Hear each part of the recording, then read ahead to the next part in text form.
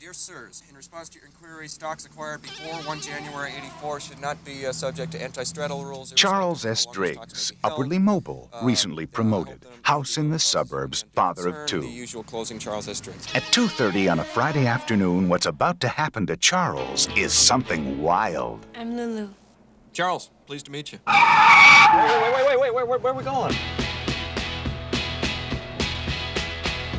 You don't turn around and take take me back. You're gonna make me do something that I don't want to do. I can hardly wait, Charlie.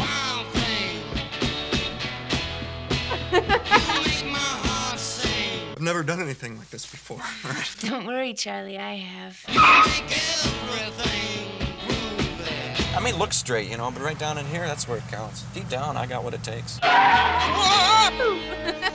if you were my mother and I brought this guy home as my husband, what would you think? Very nice. But um, I'd get rid of those handcuffs if I were you.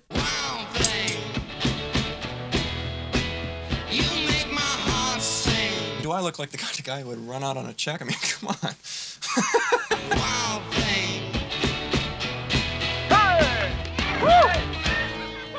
What a gal, Ray. I mean, what a gal. Wild thing, I think I love you. Oh, my gosh. Charles Driggs!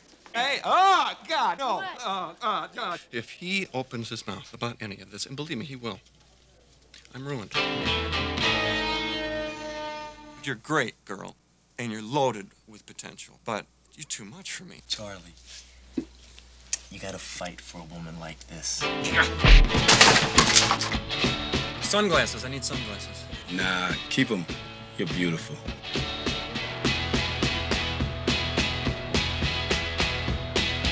Something different, something daring, something dangerous. Melanie Griffith, Jeff Daniels, something wild.